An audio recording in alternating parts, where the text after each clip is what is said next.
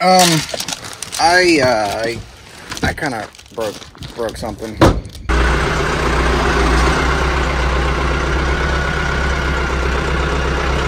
So I had to do a little towing, but you let me know if, if this sounds normal to you. All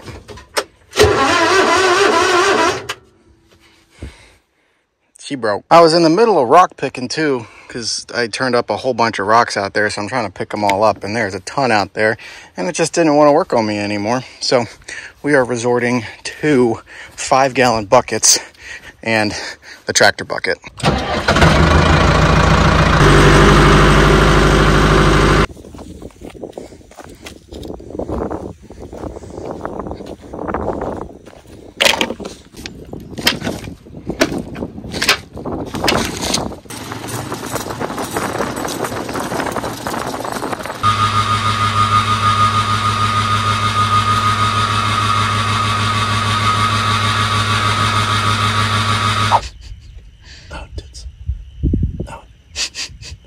Kind of spilled it everywhere. It has oil. Will it surprise us?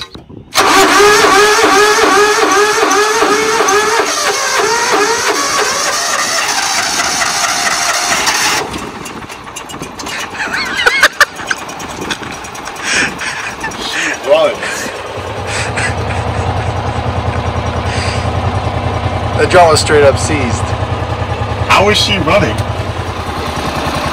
I'm telling you, this thing will surprise us.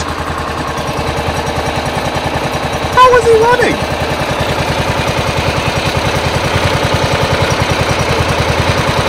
Dude, she's good to go. She got another thousand hours in her. I wonder if the trans has anything in it. Oh, that's it's got liquid in it.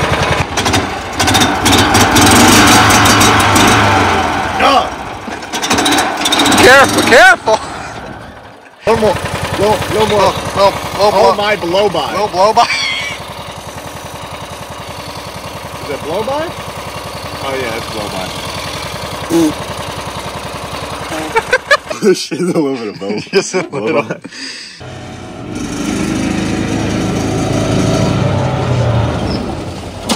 Runs like a champ. We finally got a diesel tank for the farm. This particular one goes on my truck.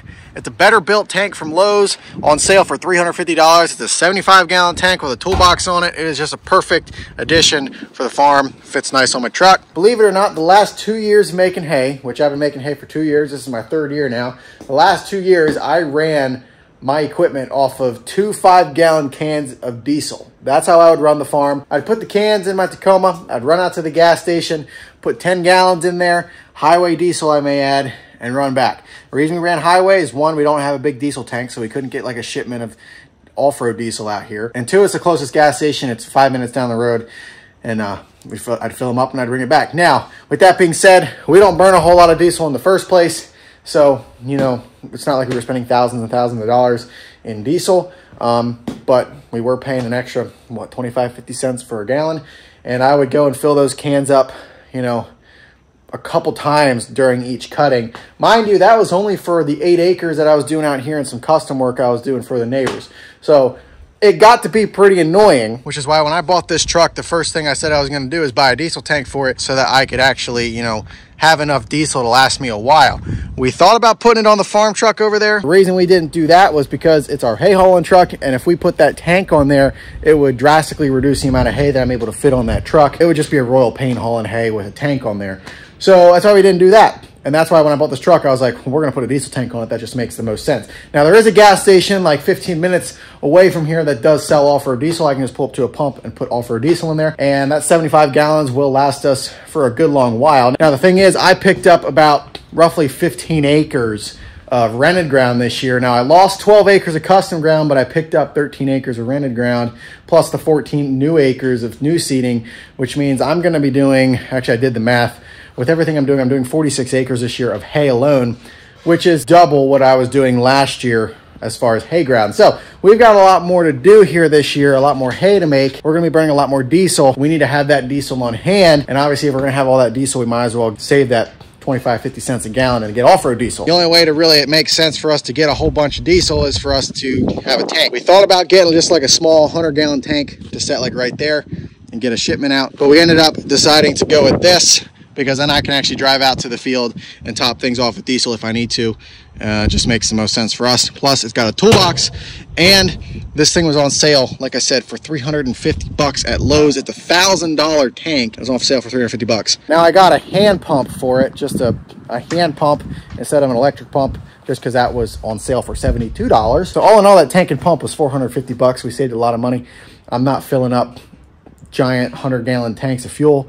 So a hand pump will do just fine for us because the AGCO is like a 25, 30 gallon tank and the 966 is somewhere around there similar. So, you know, it, it might be a little annoying cranking it all the time, but I mean, I've been filling up my tractors with diesel for the last two years with cans. So this is going to be an amazing difference. I just finished putting some bolts in, two bolts there and two bolts there. I could go with two back here, but they're going to be hard to reach because of the fuel tank that sits about right there. And then there's an axle and a leaf spring. So I'm just going to not deal with them. Boy, it's windy today. Here's our pump. This is a GPI hand pump, rotary. Um, that's all it is. Simple, simple little mechanism. And we just got screwed in the hole.